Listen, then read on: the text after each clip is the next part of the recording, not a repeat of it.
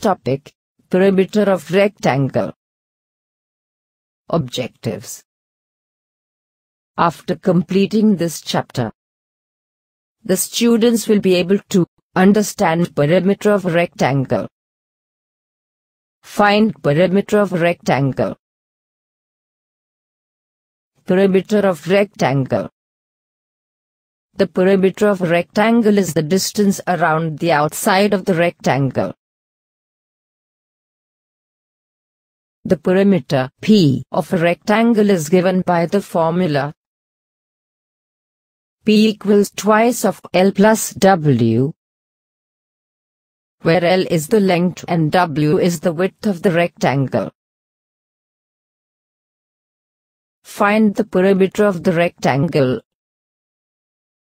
Length 14 meters and width equals 12 meters perimeter of the rectangle equals 2 into L plus W equals 2 into 14 meters plus 12 meters equals 2 into 26 meters equals 52 meters. Find the perimeter of the rectangle length equals 40 meters and width equals 35 meters.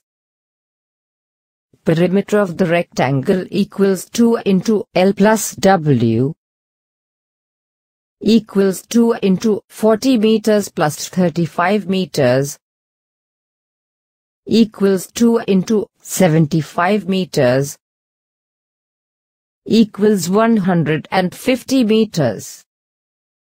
Example the perimeter of a rectangular park is 28 meters. If the length of the park is 7 meters, what is the width of the park? Solution Perimeter of the rectangle equals 2 into L plus W. 28 meters equals 2 into 7 meters plus W. 28 divided by 2 equals 7 plus W. 14 equals 7 plus W.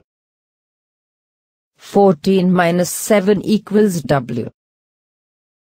7 equals W.